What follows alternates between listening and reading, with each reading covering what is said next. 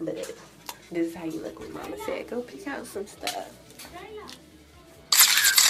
Mm, mm. mm.